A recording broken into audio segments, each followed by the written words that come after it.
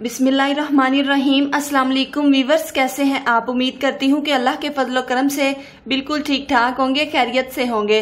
आप देख रहे हैं Subhan food secrets YouTube channel. Viewers आज हम आपके लिए लेकर आए हैं क्रिस्पी पोटैटो चीज़ बॉल्स की एक बहुत शानदार सी रेसिपी। काफ़ी सारे लोगों के साथ मसला ये होता है कि जब वो बॉल्स बनाते हैं तो ये खुल जाते हैं और सारी मेहनत जो है वो पानी में हल हो जाती है। तो मैं आज आपको बताऊँगी बहुत सारी टिप्स एंड ट्रिक्स जिससे आपके जो चीज़ बॉल्स है ना, वो कभी भी नहीं तेल में खुलेंगे। बहुत ही टेस्टी बन के तैयार होंगे। चलिए बिस्मिल्लाह करते हैं। बिना वक्त जाया किए क्रिस्पी पोटैटो चीज़ बॉल्स की रेसिपी बनाना स्टार्ट करते हैं। पोटैटोज चीज़ बोल्स बनाने के लिए यहाँ पर हमने सबसे पहले लिए हैं तीन मीडियम साइज़ के आलू हैं हमारे पास और सबसे पहले यहाँ पर हम इन्हें छील लेते हैं।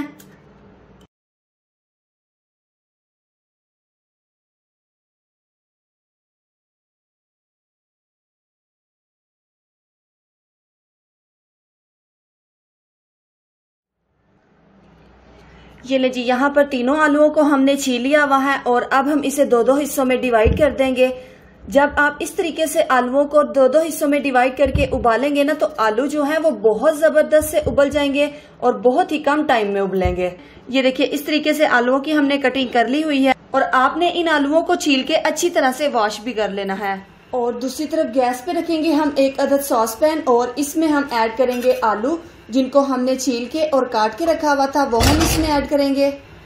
और यहाँ पर साथ ही हम इसमें ऐड करेंगे दो गिलास पानी ताकि आलू जो है वो बहुत ज़बरदस्त से गल जाएँ। पानी आप लोग इतना ऐड किया करें, जो आलू होते हैं ना, वो अच्छी तरह से पानी में डूब जाए। पानी को ऐड करने के बाद अब यहाँ पर हम इसे कवर कर देंगे और रखेंगे इसे तकरीबन सात से आठ मिनट मीडियम फ्लेम पे, ताकि आलू जो है वो अच्छी तरह से गल जाए। मिलते हैं सात से आठ मिनट के बाद और चलते हैं फिर आगे के प्रोसेस में। ये ले जी, यहाँ पर आलूओं को उबलते हुए हो चुके हैं तकरीबन सात से आठ मिनट मीडियम फ्लेम पे और अब हम इसे खोल के चेक कर लेते हैं। तो यहाँ पर आप देख सकते हैं, आलू हमारे जो हैं वो बहुत ज़बरदस्त से गल चुके हैं। फ्लेम को यहाँ पर हम ऑफ़ करते हैं।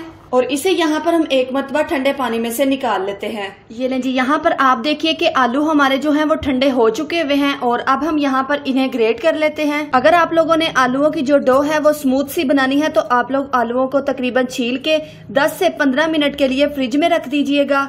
बहुत ज़बरदस्त से ये मैश हो जाएँगे। आप लोग चाहें तो आप इन्हें मैश भी कर सकते हैं। यहाँ पर मैं इन्हें ग्रेट कर रही हूँ।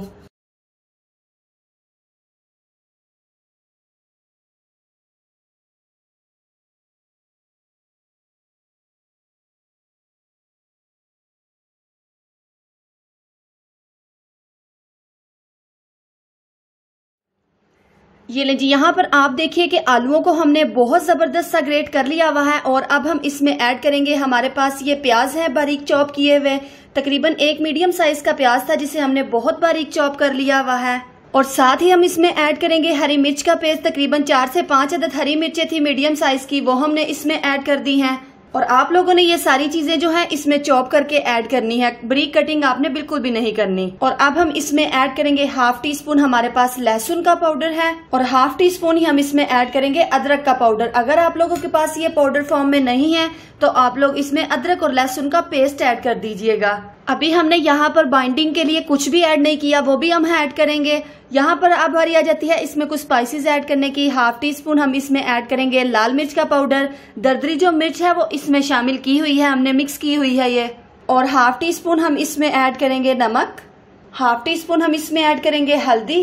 हाफ़ टी स्पून हम इसमें ऐड करेंगे खुश्क धनिया पाउडर और यहाँ पर हाफ़ टी स्पून ही हम इसमें ऐड करेंगे जीरा पाउडर और अब यहाँ पर वन फोर टी हम इसमें ऐड करेंगे काली मिर्च का पाउडर ये ले जी स्पाइसेस हमने सारे इसमें ऐड कर दिए हुए हैं और अब हम बाइंडिंग के लिए इसमें ऐड करेंगे हमारे पास वन टेबल स्पून कॉर्नफ्लोर है, वो हम इसमें ऐड करेंगे। ये आपके आलुओं पे डिपेंड होता है कि आपके आलुओं में मॉइस्चर कितना है। मॉइस्चर को हमने मिटाना है, बहुत ज़्यादा ड्राई बिल्कुल भी नहीं करना। इसलिए अभी हमने इसमें तकरीबन वन टेबल स्पून डाला है। ज़रूरत पड़ी तो हम इसमें मजीद ऐड कर देंगे। इन सारी चीज़ों को हम अच्छी तरह से मिक्स कर लेंगे और इसकी एक स्मूथ सी डो तैयार कर लेंगे। यहाँ पर आप देखिए, आलूओं में अभी मॉइस्चर जो है वो काफ़ी है। इसमें हम वन टेबल स्पून मजीद कॉर्नफ्लोर ऐड करेंगे और अब हम इसे हाथों से अच्छी तरह से मिक्स कर लेंगे। ये देखिए, माशाल्लाह से जो डो है हमारी, वो बहुत ज़बरदस्त सी और स्मूथ सी बन के रेडी हो चुकी है। और अब हम बोल्स बनाना स्टार्ट करते हैं। यहाँ पर हम सबसे पहले अपने हाथों पे लगाएँगे कुकिंग ऑयल और थोड़ा सा हम मिक्सचर लेंगे। बहुत ज़्यादा नहीं आपने लेना बोल जो है वो छोटी बनानी है, ठीक है? इस तरीके से थोड़ा सा मिक्सचर लेंगे और इसे हम अपने हाथों में सबसे पहले फिला देंगे इस तरह से।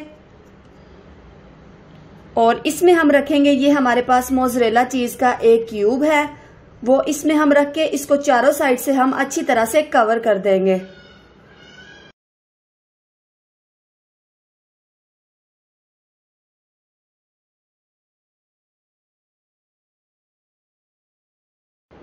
ये देखिए, माशाल्लाह से एक बोल जो है वो बन के रेडी हो चुकी है। इसी तरह हम सारी कर लेते हैं और चलते हैं फिर आगे के प्रोसेस में।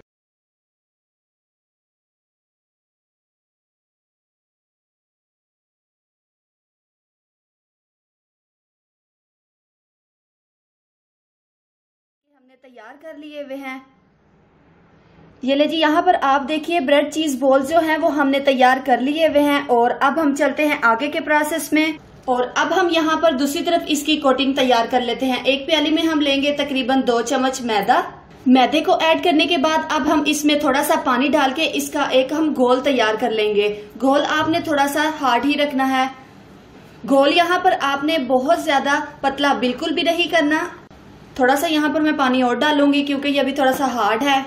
ये देखिए, यहाँ पर घोल की जो कंसिस्टेंसी है वो ये होनी चाहिए। ना ये बहुत ज़्यादा पतला है और ना ये बहुत ज़्यादा गाढ़ा है, ठीक है ना?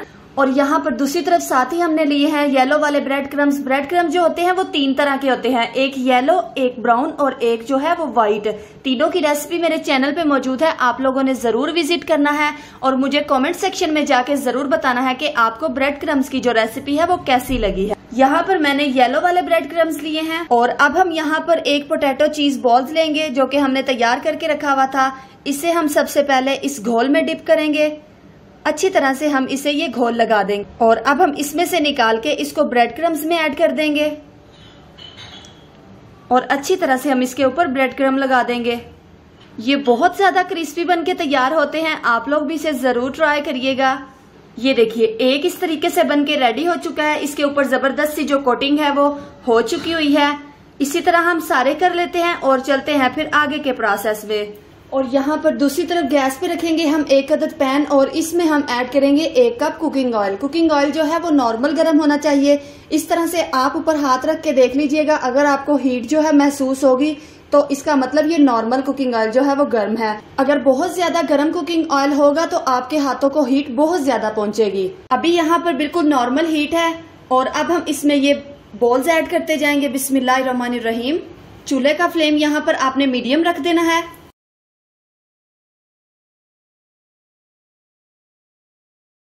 बहुत ज़्यादा गर्म कुकिंग ऑयल में अगर आप इनको डाल देते तो ऊपर से कलर आ जाना था, लेकिन अंदर से ये कच्चे रह जाने थे। ये लें जी बॉल्स को हमने कुकिंग ऑयल में ऐड कर दिया हुआ है और अब हम इसके ऊपर यूँ कुकिंग ऑयल अच्छी तरह से फेंक देंगे। और गैस का फ्लेम यहाँ पर आपने हाई बिल्कुल भी नहीं रखना, मीडियम रखना है, ठीक है ना? ये देखिए, अब हम इसकी साइड को चेंज करते जाएँगे, ताकि हर साइड से हमें खूबसूरत सा गोल्डन कलर मिले। और इसी दौरान मैं आप सभी से एक रिक्वेस्ट करूँगी कि अगर आप लोग चैनल पे नए हैं तो चैनल को ज़रूर सब्सक्राइब कर दीजिएगा। साथ लगे घंटी के बटन को आपने ज़रूर दबाना है। उससे हमारी आने वाली हर नई वीडियो का नोटिफिकेशन सबसे पहले आपको पहुंचेगा। और अगर आपको वीडियो पसंद आती है तो इसे अपने फ्रेंड्स और फैमिली मेंबर्स के साथ भी ज़रूर शेयर किया करें, ताकि वो भी इस तरह की नई और आसान रेसिपीज़ को ट्राई कर सके। ये देखिए, यहाँ पर माशाल्लाह से इनके ऊपर खूबसूरत सा गोल्डन कलर जो है वो आ चुका है, और अब हम इन्हें यहाँ पर निकाल लेते हैं। ये देखिए, माशाल्लाह से ये कितनी खूबसूरत लग रही हैं। और चलते हैं, अब हम फाइनल लुक की तरफ़ और आप लोगों को इनको काट के दिखाते हैं कि ये अंदर से कितनी चीज़ें बन के तैयार हुई हैं।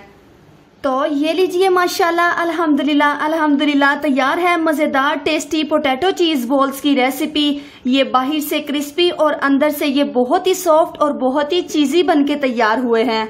ये आप लोग अपने घर पे ज़रूर ट्राई करिएगा। ये आपको और आपके फैमिली मेंबर्स को बहुत ही ज़्यादा पसंद आने वाले हैं। बहुत कम टाइम में बनने वाली ये रेसिपी है और यहाँ पर मैं आपको इसको अंदर से दिखाती हूँ कि ये कितना चीजी बन के तैयार हुआ है।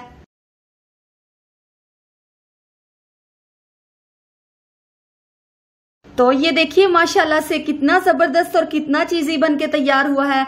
मिलते हैं आपसे, इंशाल्लाह नेक्स्ट वीडियो के साथ नेक्स्ट रेसिपी के साथ। तब तक रखना है आपने अपना ढेर सारा ख्याल। और अगर आपको वीडियो पसंद आई हो तो इसे अपने फ्रेंड्स और फैमिली मेंबर्स के साथ ज़रूर शेयर करें।